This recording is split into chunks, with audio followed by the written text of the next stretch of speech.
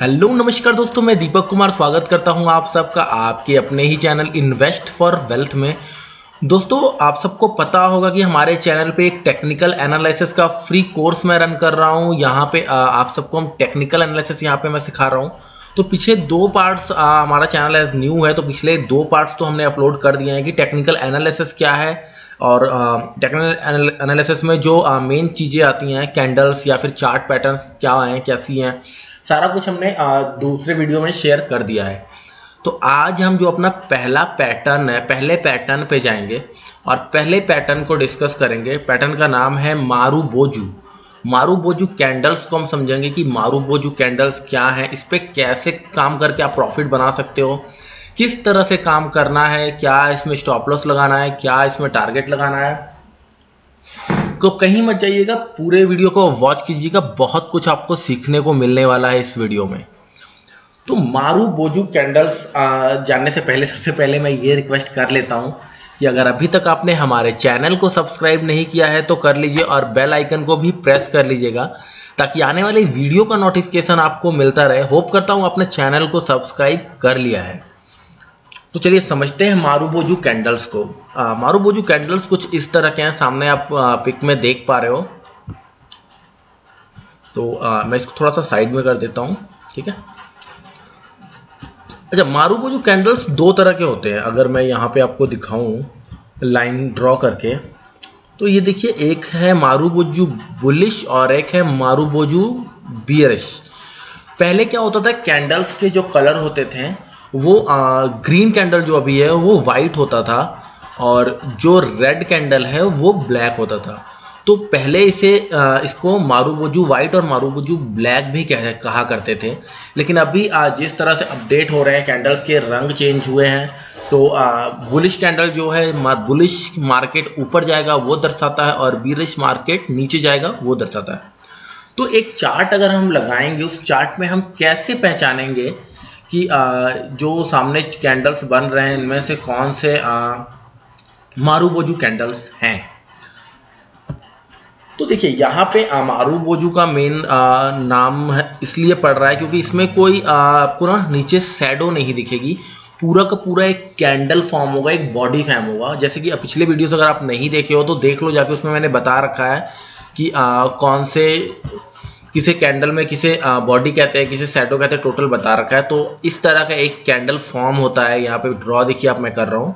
यहाँ पे मैं डिस्कस कर लेता हूँ थोड़ा सा। तो ये लाइन और ये लाइन समझ लीजिए एक कैंडल यहाँ पे ओपन हुआ, इस साइड ओपन होता है और इस साइड हमेशा क्लोज होता है।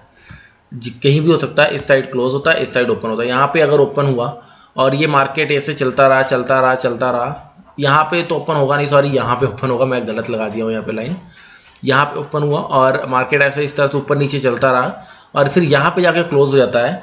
ये आ, इसका लो पॉइंट बनता है ये हाई पॉइंट बनता है और ये जो बीच में जो रेड या ग्रीन कैंडल फॉर्म हुआ है रेड कैंडल फॉर्म हुआ है वो बॉडी है और ऊपर दोनों सैडो है अपर सैडो लोअर सैडो तो अब देखिए यहाँ पे आ, जो मारू बेजू कैंडल है इसमें आपको कहीं भी कोई सैडो नहीं दिखेगा पूरा का पूरा बॉडी दिखेगा।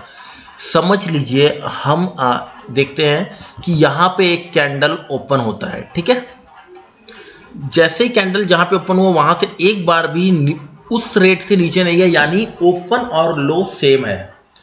आ, कई बार हम देखते हैं ना अपने मार्केट में मार्केट ओपन होता है और ओपन और लो सेम होता है तो वो होता है मारू बजू तो ओपन और लो सेम है उसके बाद जब ये क्लोज होता है कैंडल तो क्लोज और हाई बिल्कुल सेम होता है।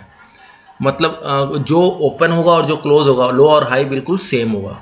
कोई भी शेडो फॉर्म नहीं होता है उसे हम मारू बोजू कैंडल कहते हैं। ये बहुत ही ज़्यादा प्रसिद्ध टेक्निक है। आ, मतलब टेक्निकल एनालिसिस में अगर हम देखें तो काफ़ी ज़्यादा हेल्पफुल है और काफ़ी एनालिसिस इसको यूज़ करते हैं। दोस्तों समझ लीजिए आपको आ, कहीं आप एक चार्ट बन रहा है और वहाँ पे आपको मारू बोजू बुलिश कैंडल या बीरिश कैंडल मिल जाता है। तो हमें इसमें काम कैसे करना है? मेन पॉइंट ये है हम तो कैंडल पहचानना सीख गए। अगर आ, कोई कैंडल देखिए आप टेक्निकल चीज़ें अगर समझेंगे चार्ट तो कोई भी देख लेता है लेकिन हमें ट्रेंड पैटर्न समझना होता है कौन सा पैटर्न बन रहा है। बहुत सारे पैटर्न है। हम इस चैनल पे सारे पैटर्न्स डिस्कस करेंगे तो एक एक वीडियो हम सारे पैटर्न्स के ऊपर बनाएँगे। और मैं कोशिश करूँगा आज मैं दो तीन वीडियो अपलोड कर दूँ पैटर्न्स के ऊपर। क्योंकि ऑलरेडी हमारा कोर्स बहुत पीछे चला गया है। आ, मैं थोड़ा सा बिज़ी हो गया तो उस वजह से मैं कोर्स के ऊपर कोई वीडियो नहीं बना पाया। तो ऑलरेडी हमारा कोर्स बहुत ज़्यादा पीछे चल रहा है। वन वीक के अराउंड हो गया है। मैंने कोई भी वीडियो नहीं अपलोड किया उस कोर्स में। तो अब मैं आज दो तीन वीडियो अपलोड करूँगा और कोशिश करूँगा रोज ही मैं उस टेक्निकल कोर्स में वीडियोस ऐड करूँ आप लोगों को सिखाने के लिए। तो आप यहाँ पर देख पा रहे हो अब हमने यहाँ पे काम कैसे करना है मारू बोजू यहाँ पे हमें दिख गया मारू बोजू कैंडल फॉर्म हो गया। अब देखिए, अगर हमें बुलिश मारू बोजू कैंडल मिलता है, यानी ग्रीन मारू बोजू कैंडल मिलता है तो हमें यहाँ पे ओपन हुआ, ठीक है? यहाँ पे क्लोज हुआ। जहाँ पे कैंडल क्लोज होता है, ठीक वहीं पर हमें बाइंग बना लेनी है। अब आप ये सोच रहे होगे कि कैंडल कितने मिनट का लगाना है है ना? चार्ट कितने मिनट का लगाना है? देखिए, वैसे तो आप 15 मिनट के चार्ट पे 15 मिनट के टाइम फ्रेम पे बढ़िया रिलायबिलिटी बढ़िया होती है इसकी, लेकिन अगर जितना लंबा जाता है मारो बोझू उतना ज़्यादा इफ़ेक्टिव हो जाता है, अगर एक घंटे के चार्ट पे आप कर रहे हो। लेकिन आप देखो, एक घंटे के अगर हम चार्ट पे करते हैं ना तो ये जो फ्रेम है, ये अब बॉडी जो है, ये बॉडी बड़ी हो बन जाती है जिससे क्या होता है, हमारा स्टॉपलस बड़ा हो जाता है। स्टॉपलस क्या लगाना होता है हमें? समझ लीजिए, एक हंड्रेड रुपीज़ का शेयर है, ठीक है? यहाँ पे हंड्रेड रुपीज़ पे ओपन हुआ और हाई गया एक सौ दो रुपये एक सौ दो रुपये पे यहाँ क्लोज हुआ। एक सौ दो रुपये पे नया कैंडल बन गया, ठीक है? अब हमने क्या करना है? एक सौ दो रुपये पे हमने बाइंग बना लेनी है। सॉरी ये पता नहीं क्या लिखा गया। एक सौ दो रुपये पे हमने बाइंग बना लेनी है ठीक है? हमारा जो स्टॉप लॉस होगा वो आ, इसका लो होगा। हम कहते हैं ना ओपन और लो अगर सेम है तो लो तोड़ेगा तो हो जाएगा और उसमें से सेलिंग आ जाएगी। तो कुछ ऐसा ही समझ सकते हैं हम आप समझ सकते हो। तो यहाँ पे हमने बाइंग किया और इसका आ, लो जो है ओपन और लो जो है वो उसका हमारा स्टॉप लॉस होगा। टारगेट आप अपने हिसाब से ऊपर बुक कर लीजिए। जब आपको दिखे ये एक नया कैंडल एक और फॉर्म कर दिया और एक और अगर मारू बोजू बनाया, फिर तो बहुत बिग टारगेट आपको मिलने वाला है। अगर दो मारू बोजू एक साथ बन जाते हैं तो बहुत बड़ा आपको टारगेट मिलने वाला ये समझ लीजिएगा, फिर जल्दी प्रॉफिट बुक करने की जल्दी मत कीजिएगा। आगे देख लीजिएगा, अगर आपको दिखता है कि अपर सैडो अब अपर सैडो ज़्यादा बड़ा बन गया है, और बॉडी नीचे छोटी है तो आपको एग्जिट करने की ज़रूरत पड़ जाती है। छोटे टारगेट में, लेकिन अगर बुलिश ट्रेंड देख के आपको पता लग जाएगा यहाँ ग्रीन ग्रीन कैंडल्स फॉर्म हो रहे हैं ज़्यादा तो आप उसमें होल्ड करके लंबा, बढ़िया प्रॉफिट ले सकते हो। मेन स्टॉप लॉस हो, जो हमारा होगा, ये स्टॉप लॉस होगा, पूरा स्ट्रिक्ट स्टॉप लॉस लगाना है। अगर आप टेक्निकल एनालिसिस से काम कर रहे हो तो पूरे टेक्निकल्स को फॉलो करने हो, तभी आप पैसा बना सकते हो अदरवाइज़ आप कभी भी मार्केट में पैसा नहीं बना पाओगे। तो ये तो हो गया पंद्रह मिनट की बात। अगर हम बात करेंगे वन आवर की, ठीक है ना? वन की समझ लीजिए एक शेयर है, जिसका प्राइस है हज़ार रुपये मैं बात कर रहा हूँ, हज़ार रुपये प्राइस है शेयर का। ठीक है? हज़ार रुपये प्राइस है और वन आवर का कैंडल हमने लगाया, हमें मारू बोजू मिल गया। हज़ार रुपये पे ओपन हुआ और यहाँ पे एक हज़ार बीस पर क्लोज हुआ ऊपर। बीस रुपये ऊपर नीचे दिखा दिया, बीस रुपये ऊपर चला गया। अब देखिए, इतना बड़ा जो गैप आ गया ना, बड़ा गैप आ गया वहाँ पे क्या करना है हमें थोड़ा सा सावधान होने की तो वैसे भी आपको पता है जो छोटे शेयर्स होते हैं सौ रुपए वाला शेयर्स होगा तो आप उसमें क्वांटिटी ज़्यादा उठाओगे और बड़े शेयर में क्वांटिटी कम उठाएगा क्योंकि बड़ा शेयर ज़्यादा मूव करता है। तो अब इतना बड़ा अगर आप स्टॉप लॉस नहीं रख पाते हो तो आप आ, मिड इसके मिड का स्टॉप लॉस रख लेते हो। लेकिन वैसे भी अगर एक घंटे का हम कैंडल में देखते हैं तो हमें रिलायबिलिटी तो ज़्यादा मिलती है लेकिन हम लंबे समय के लिए उसको ज़्यादा होल्ड करना पड़ता है और बड़े टारगेट के लिए होल्ड करना पड़ता है।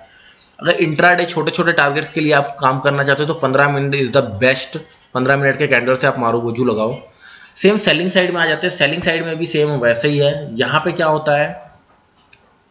एक मार्केट चलता हुआ आ रहा है, चलता हुआ आ रहा है, चलता हुआ आ रहा है। ये कैंडल्स बन रहे हैं जो मैं लाइन बना रहा हूँ। यहाँ पे एक कैंडल ओपन सॉरी क्या हो जाता है यार? ठीक है, यहाँ पे कैंडल ओपन हुआ। और ओपन जहाँ पे नया कैंडल फॉर्म हुआ। कैंडल फॉर्म होने के बाद एक बार भी मार्केट ऊपर की तरफ़ नहीं दिखाया, वहीं से गिरना शुरू हो गया, ठीक है ना? ये गिरना शुरू हो गया। और अगर पंद्रह मिनट का चाहते पंद्रह मिनट के अंदर यहाँ पे पंद्रह मिनट खत्म हुआ, यहाँ बीच में चाहे जितनी बार मर्ज़ी ऊपर नीचे हो गया है, कोई दिक्कत नहीं है, यहाँ पे जितनी बार मर्ज़ी ऊपर नीचे हो गया लेकिन जहाँ पे क्लोज हुआ कैंडल उससे नीचे नहीं गया, लो पे अपने क्लोज हो गया। तो आपको क्या करना है, यहाँ पे क्या ओपन और हाई सेम हो गया हमारा? ओपन यहाँ हुआ और यही हाई हमारा बना ओपन और हाई सेम हो गया तो हमें सेल कर देना है। सेल करने के बाद नीचे आ, हमने जितना जाता है जाने देना है। ऊपर का जो स्टॉप लॉस वो हमारा होगा हाई का स्टॉप लॉस ले लेना है। तो ये मारू बोजू कैंडल्स हैं। होप करता हूँ आपको समझ में आ गया मारू बोजू कैंडल्स क्या हैं। कई बार क्या होता है कि ये तो आप पूरा परफेक्ट हंड्रेड परसेंट फॉर्म हुई मारू मारू बोजू कैंडल्स है। कई मारू बोजू कैंडल्स क्या होती है आपको वो दिखाता हूँ। ऐसे भी आपको पैटर्न मिलेंगे चार्ट में। इस तरह का कैंडल है समझ लीजिए ये ग्रीन कैंडल है। तो इस तरह का भी हो सकता है, समझ लीजिए। यहाँ पे तो नहीं ऊपर मिलेगा ग्रीन कैंडल अगर ये ये रेड कैंडल समझ लीजिए। रेड कैंडल यहाँ पे मजार ओपन हुआ। ओपन और हाई सेम है बट लो नीचे थोड़ा सा ज़्यादा जाके यहाँ पे क्लोज हुआ है। लो के पास में क्लोज हुआ है। तो ये भी एक मारू बोजू ही माना जाएगा और इसको हम एक मारू बोजू के नज़र से ही देखेंगे। लेकिन इसमें रिलायबिलिटी थोड़ी कम होती है और इन दोनों में, इन दोनों में फुल रिलायबिलिटी होती है। ठीक है ना?